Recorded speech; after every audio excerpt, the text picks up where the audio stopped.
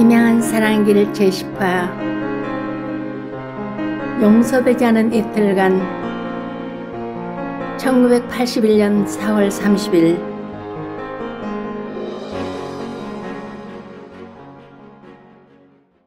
정말로 악몽 같은 날이 지나갔지만 도저히 친정어머니를 크게 다치게 한 시어머니를 사랑받은 셈치고로 봉헌하기는 역부족이었다.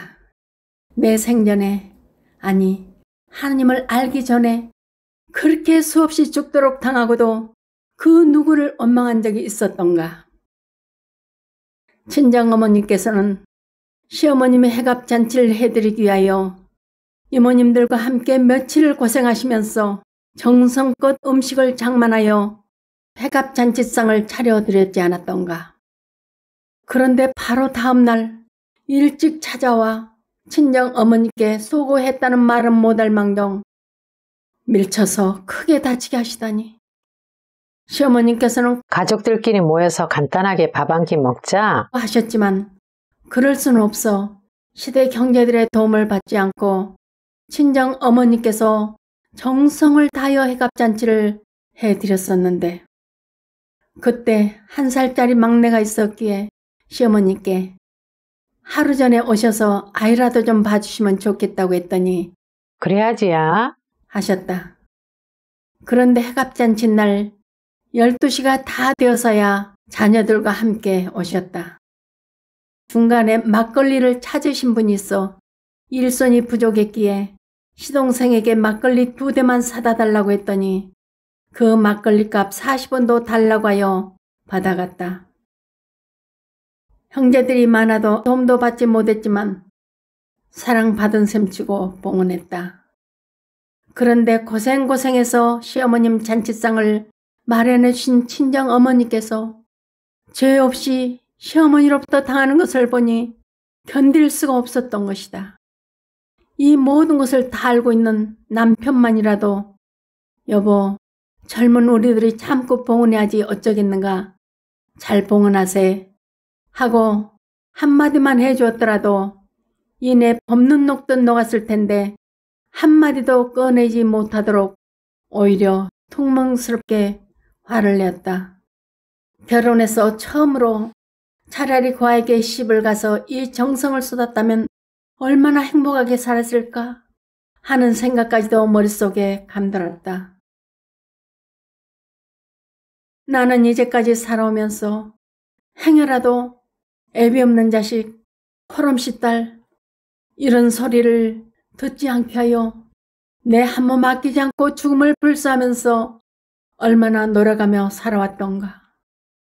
그리고 외롭게 자란 나는 시부모님이 계시고 형제도 많은 집에 시가서 어순도순 서로 오해하며 행복하게 잘 살아보고픈 마음이었었다. 내가 택한 길이었기에 시집와서 바로 시어머니 빚 갚아드리기 시작하면서부터 허리끈 졸라매고 굶어가면서까지 시어머님의 말씀에 순명하고 살았다. 소처럼 쉬지 않고 일하면서 종갓집 맏며느로서 그 수많은 일들을 치를 때마다 시어머님은 내가 없으면 지가 다 할 일인데 뭐. 하며 큰 자식이 한 모든 일들은 마땅히 해야 될 일을 한 것이라며 당연시 하셨다.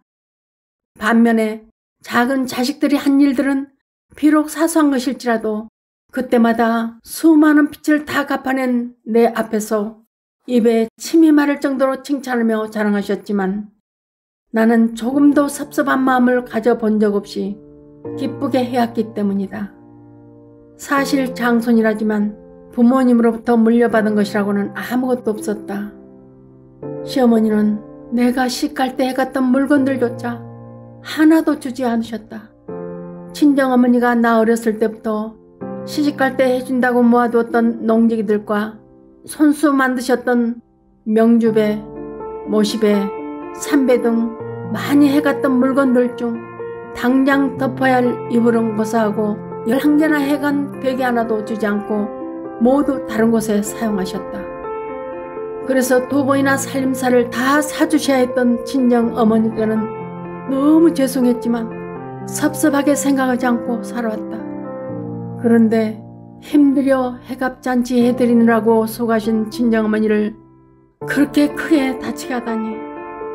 나 하나만을 위해 이날 이때까지 고생만 하시며 청상으로 늙으신 어머니 좋다는 거 다 놔두고 가장 복잡한 집으로 시집을 가니 내가 다 잘할 것을 아니까 나는 걱정하지 않는다. 내가 너희 집 가면 홍어만 사주면 된다이. 고 하셨다.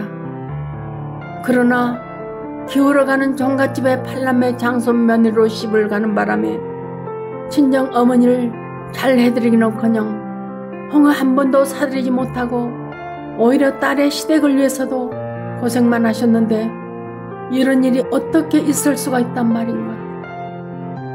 이 세상을 살아오면서 그 어떤 봉변과 오욕을 당하고 큰 돈을 떼고 사기를 당했어도 모두 용서하며 셈치고 살아왔으나 나를 이해해 줄 줄 알았던 남편의 멀리에는 나를 더 견딜 수 없게 하였다.